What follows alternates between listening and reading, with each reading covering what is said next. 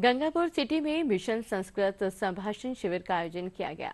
शिविर में विभिन्न जिलों के विद्यार्थियों ने संस्कृत भाषा का ज्ञान प्राप्त किया।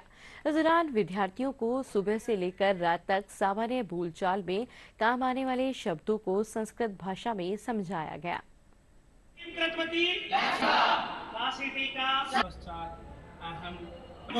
यथा अभिनय नमो नमः।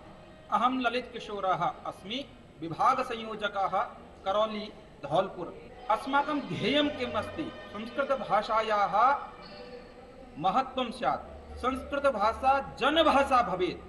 प्रत्येकस्य भारतीयस्य मुखे संस्कृत इति अस्माकं ध्येयम् अस्ति। अतः आदिनम् अस्मिन् वर्गे संस्कृतं प्रचलति।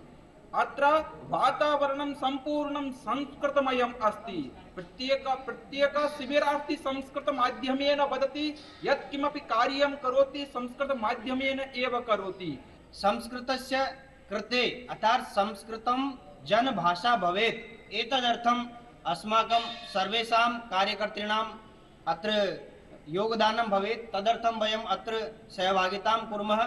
संस्कृत आम जन की भाषा बने इसके लिए हम आदिनम पुनश्च सेवा महे मतलब लोगों के मन में जो धारणा है कि हमारे धार्मिक ग्रंथ बड़े कठिन है, वो केवल किताबों में निहित है, लोगों को उनको पढ़ना नहीं आता, समझना नहीं आता, उस भ्रम का निवारण करने के लिए और समाज को, संस्कृत के प्रति नई दिशा में एक साथ आगे बढ़ाने के लिए, अर्थात ग्रंथों से उनको जोड़ने के लिए और ग्रंथों के प्रति जो उनकी धारणा है, कठिनता की ग्रंथ कठिन नहीं है, प्रौढ़ है। अगर हम उनको सीख लेंगे तो निश्चित रूप से वयम संस्कृतेन एव तेषाम पाठनम कर्तुम सक्षमा भविष्यामः।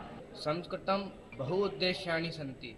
बहु उद्देश्यानि तर्हि संस्कृतेन माध्यमेन अहं कोऽपि कार्यं कुर्वन्तिश्चेत्। जानन्तिश्चेत्, गूढज्ञानं जानन्ति, स्मरन्ति, ज्ञातुं शक्नुवन्ति। अहम् अत्र आगच्छामि, अहं पश्यामि, अनेक अध्यापकः अत्र पाठितवान्।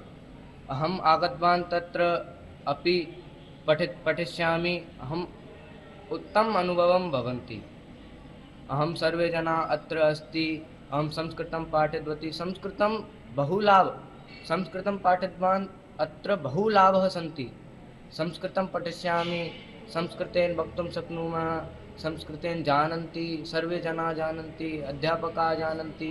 सर्वे जनाः संस्कृतस्य प्रचार प्रसारं करोमि तर्हि अस्मिन् अस्मिन् वर्तमानसमये जो संस्कृतस्य सर्वे जनाः कथयति, संस्कृते मर्ता अस्ति, तान् न अहं जागरणं करोष्य, करिष्यामि। यत्र संस्कृत एक पुरातनः भाषा सन्ति, भाषा अस्ति संस्कृत एक अस्माक, अस्माकं सनातनधर्मस्य एक एव जन्य अस्ति। अहं मूलतः टोङ्कता अस्मि।